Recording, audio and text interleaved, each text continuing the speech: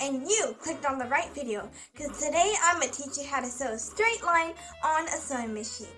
The materials that you're going to need is fabric and of course your sewing machine. For this demonstration, I'm going to specifically use a light piece of fabric and a dark piece of thread so you'll be able to see what I'm doing. The machine is already set up and ready to go, so let's get started. For the process of sewing, you need to be very careful because there's a sharp needle and a very hot lamp. Other thing to make sure of, when you're sewing, make sure you don't go towards you. Go away from you because if you go towards you, you'll either break the machine or your thread will be caught and that's not what you want to do. It will be caught in a the biggest knot ever and you might have to thread your bobbin again which will take a long process and that is not what you want to do at all. So right here is the knob in the back of the sewing machine. Make sure you turn it left and not right. This right here controls the position of the needles. What the knob does, if you turn it left, it situates the needle to press down on your piece of fabric. That's what you need to do to hold it in place there's a gray lever up here. What you need to do is press it down, and this is the second thing that holds it in place. Now, to start sewing, you need to hold your fabric by putting one hand here and one hand at the end. So you could hold it like this as the needle is passing through. Start off by making a seam. Flip it over to this side and let's get ready to sew.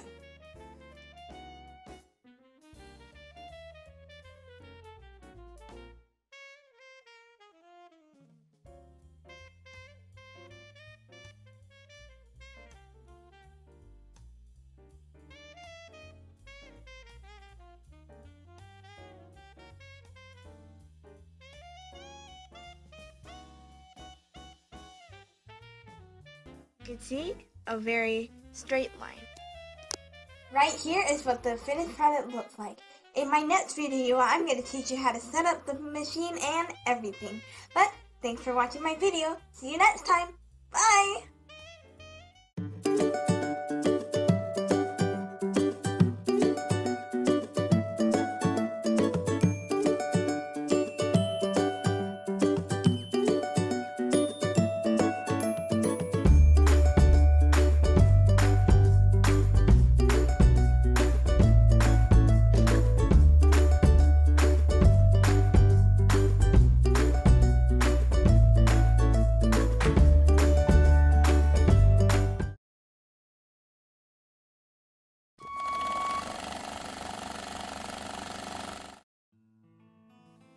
Sacramento Northern. The Sacramento Northern Railway was a 183 mile long electric interurban railway that stretched from Chico to San Francisco. The SN, the Sacramento Northern, was a railway that was formed by two others, the Oakland Antioch and Eastern and the Northern Electric. The Western Pacific Railroad bought both interurban lines and merged them into the Sacramento Northern at the end of 1928. The SN ran through the Oakland Hills and the climb was a steep 4% gradient passenger service. The SN's main name trains were the Comet and the Meteor. The SN was once the fastest way to get from the Bay Area to the Sacramento Valley. The Meteor took 5 hours, 43 minutes from Chico to San Francisco, and the Comet took 2 hours and 48 minutes from San Sacramento to San Francisco. The passenger trains had a dining service and parlor car service. The trains also reached a speed of 60 miles per hour while traveling from Sacramento to San Francisco. The 40th and Shafter Avenue Yard. Small cramped yard was located at the corner of 40th and Shafter Avenue. The yard had a, a five stall shed for storing its electrics. The yard also included a car and locomotive repair shop.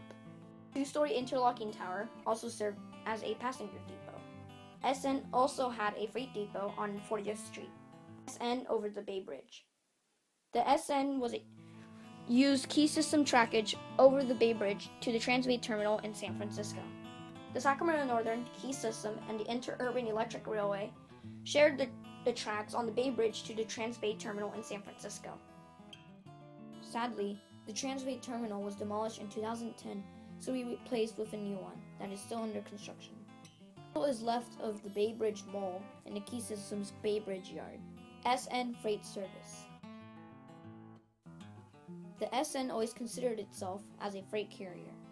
The SN carried all sorts of agricultural products from California's rich Sacramento Valley. Since the climb at Rockridge was a was at a 4.5% grade, SN had locomotives at both ends of the train, not for pushers, but for additional braking. The SN leased some of its electrics to the key system owned Oakland Terminal Railway. SN's ferry Ramon. The Ramon was a temporary solution to the bridge that was never built over the Suisun Bay. The Ramon unloaded and loaded interurbans at Mallard and Chipps. Three tracks on the Ramon, but only two were used due to the width of trains. Freight locomotives usually didn't ride the Ramon. The Ramon gave 40 years of service be- before being decommissioned in 1954, which led to the eventual conversion to diesel. The end of the SN.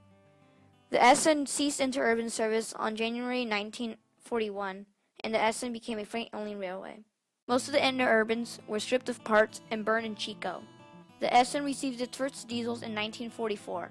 The SN owned 44 tonners, EMC SW1s, Alco S4s, GP7s, and EMD F3s.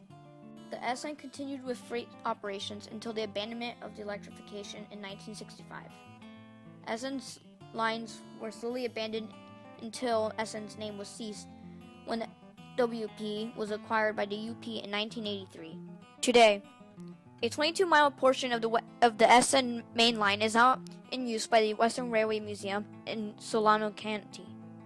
The Western Railway Museum restored some of the SN's equipment, such as Interurban number 1005, SN Steeple Cab 652, and Key Systems Braid Bridge Unit. Legacy. The SN has helped California's valley towns to grow, and its railroading legacy will be remembered by rail fans from all around. The end.